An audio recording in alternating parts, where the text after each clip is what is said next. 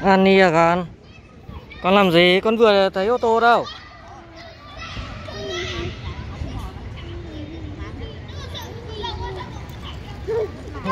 Ô tô đúng rồi, chạy ra ô tô đi.